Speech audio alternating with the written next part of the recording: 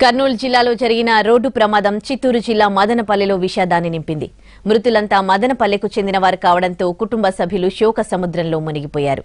అజ్మీర్కు బయలుదేరే వరకు తమతోనే ఉన్నారని ఇంత ఘోరం జరుగుతోందని అనుకోలేదంటూ ఆవేదన చెందుతున్నారు.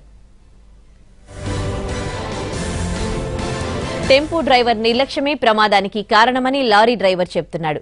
డివైడర్ ఢీకొట్టి బోల్తాపడి లారీని ఢీకొట్టిందని చెప్తున్నాడు.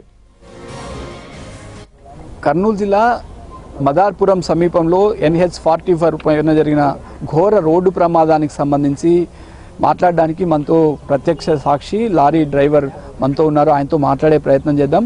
ఈ ఘటనలో పదహారు మంది అక్కడికక్కడే చనిపోయారు. మరో నలుగురు తీవ్రంగా గాయాలయ్యాయి. అందులో ఇద్దరి పరిస్థితి విషమంగా ఉంది. ఈ సంఘటన ఎలా జరిగింది? అంటే సంఘటన స్థలాన్ని బట్టి చూస్తే అక్కడ టెంపో రోడ్డు డివైడర్ దాటి పక్క రోడ్లోకి వచ్చి ఎదురుగా వస్తున్న లారీని ఢీకొంది. ఆ లారీని డ్రైవ్ చేస్తున్న డ్రైవర్ మనతో ఉన్నారు. ఆయనతో మాట్లాడే ప్రయత్నిద్దాం. చెప్పండి మీ మీ పేరెంట్ ఎక్కడి నుంచి వస్తున్నారు? సార్ నా పేరు షేక్ ఫారూక్ బాషా. నాది కర్నూలు డిస్టిక్ బనియాంపల్లి తాలూకా అవుకు మండలం అవుకు గ్రామము. అంటే ఇప్పుడు యాక్సిడెంట్ జరిగింది కదా ఎట్లా జరిగింది మార్నింగ్? సార్ నేను వరంగల్ నుంచి మట్టి లోడ్ వేసుకుని తాడిపత్రి ఆల్ట్రాటెక్ సిమెంట్ పేటకి వెళ్తున్నాను. ఇక్కడ మన కర్నూలులో టీ తాగేసి ఇలా చిన్నగా బయలుదేరి వచ్చేస్తున్నాం. ఇక్కడ మాదాపురం కాడ అక్కడ తుఫాను అది టెంపో ట్యాక్స్ బండి ప్యాసింజర్ బండి అతి వేగంగా అక్కడి నుంచి వచ్చేసింది సార్. అలాగ వచ్చేసి ఆ చెట్లను కొట్టుకుంటే డివైడర్లు ఎక్కి పల్టీ కొట్టుకుంటూ వస్తుంది.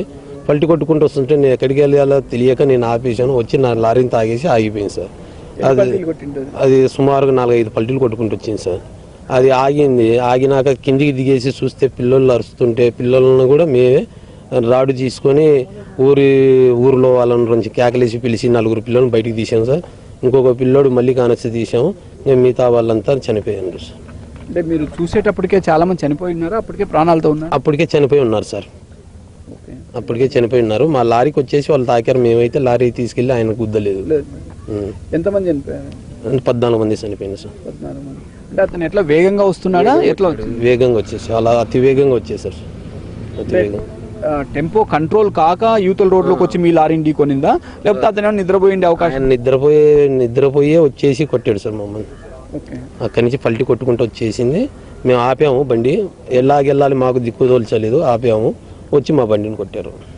ఎన్ని గంటలప్పుడు జరిగింటుంది మూడు ముప్పై మూడు నలభై మూడు మూడున్నర నుంచి మూడు నలభై లోపల జరిగిపోయింది. లారీ డ్రైవర్ పరిస్థితి టెంపో డ్రైవర్? టెంపో డ్రైవర్ అందరు స్పాట్ అవుట్ అయినారు సార్. స్పాట్ అవుట్ మేము దిగి పిల్లలు ఆర్తనాదాలు విని మేము బయటికి లాగాము.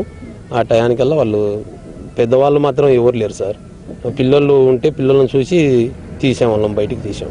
అంటే బోల్తా కొడుతూ వచ్చింది. ఎన్నిసార్లు పల్టీ కొడుతూ? ఎంత దూరం వచ్చింటుంది అది? సుమారు నాలుగు సార్లు పల్టీ కొట్టుకుంటూ వచ్చి నా బండికి అలాగా పడుకొని వచ్చేసి నా బండి తాకింది. నా బండికి తాకి అలా ఆగిపోయింది. ట్రాక్స్ టెంపోలో ఉన్న వాళ్ళంతా?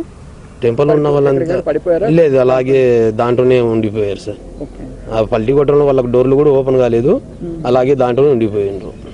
అప్పటికే చనిపోయారు? అప్పటికే చనిపోయారు వాళ్ళు. మొత్తం మీద ఈ సంఘటనలో పూర్తిగా టెంపో డ్రైవర్దే తప్పు. ఆయన చేసిన తప్పు కారణంగానే పదహారు మంది ప్రాణాలు గాల్లో కలిసిపోయినట్టు స్పష్టంగా తెలుస్తోంది. నలుగురు ఇంకా కర్నూలు జీజీహెచ్లో చికిత్స పొందుతున్నారు. అజ్మీర్ వెళ్ళే ప్రయత్నంలో కర్నూలు జిల్లా మదార్పూర్ వద్ద హైవేలో చాలా వేగంగా వస్తున్నారు. నిద్రపోయినట్టు కూడా తెలుస్తోంది. ఆ వాహనం టెంపో కంట్రోల్ కాక పక్కన వస్తున్న రోడ్డు డివైడర్ దాటి పక్కన వస్తున్న రోడ్లో రోడ్లోకి వచ్చింది. దాదాపు యాభై మీటర్లు బోల్తా కొడుతూ వచ్చినట్టు ప్రత్యక్ష సాక్షి డ్రైవర్ చెబుతున్నారు. ఆ తర్వాత ఎదురుగా వస్తున్న లారీని ఢీకొన్నారు. అందులో అప్పటికే పద్నాలుగు మంది చనిపోయారు. లారీ డ్రైవరు కేకలు వేసి పక్కనే మదార్పురం గ్రామస్తులను పిలిచారు. గ్రామస్తులు వచ్చి అందులో చిక్కుకున్న వారిని బయటకు తీసినట్లు చెబుతున్నారు. వాహనం డోర్లు కూడా అప్పటికే సీజ్ అయిపోయాయి.